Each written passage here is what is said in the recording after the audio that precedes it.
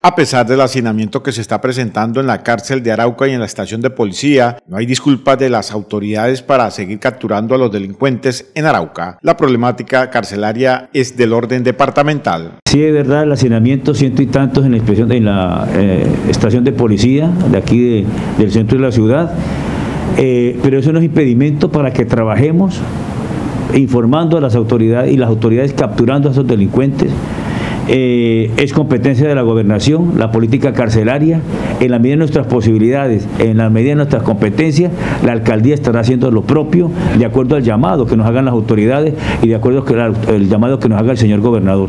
Pero la política carcelaria es netamente de la gobernación, pero estamos como alcaldía prestos a colaborar, a brindar lo que sea necesario para que se haga un buen trabajo con las autoridades. El alcalde del municipio de Arauca, Edgar Fernando Tobar, dijo que la nueva sala donde estarán la parte operativa de la Policía Nacional es una de las mejores del país. Eh, esta sala 7 de la que habló el coronel Pérez eh, es de las más modernas, esa 1-3 de, que tiene eh, el departamento de policía obsoleta. Nosotros estamos aportando, vamos a aportar 17 eh, cámaras por parte del municipio de Arauca. Estamos en la reparación de aquellas que se pueden reparar y estamos en la compra de aquellas que no tienen arreglo. Estos recursos los sacamos por ley 418 que son destinados a la seguridad eh, recursos de la administración municipal, de acuerdo a la solicitud que nos hizo la Policía Nacional.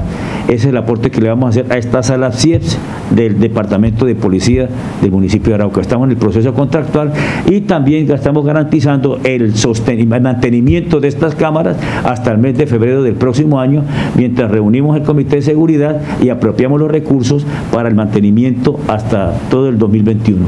El burgomaestre manifestó que a pesar de los hacinamientos carcelarios, se tiene que seguir capturando a los delincuentes. Hay un hacinamiento eh, tanto en la inspección de policía como en la cárcel de aquí de la ciudad de Arauca, pero el concepto, el manejo, la información que tengo y que se me dio por parte del coronel Pérez, que nos acompañó en este Consejo de Seguridad, eh, es que ellos están cumpliendo en el evento de que tengan que capturar a un delincuente, efectivamente lo van a hacer.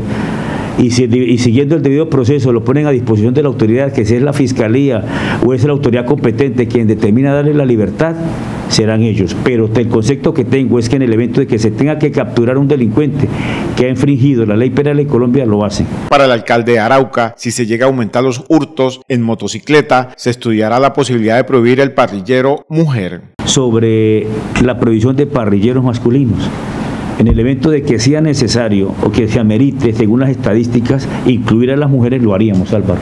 Eh, pero por el momento fue lo que se acordó y se determinó, porque las estadísticas eh, nos indican que son los hombres o la mayoría de los hombres que están cometiendo este delito, estos delitos. Los operativos se incrementarán por parte de las autoridades para disminuir los hurtos y capturar a los delincuentes en Arauca.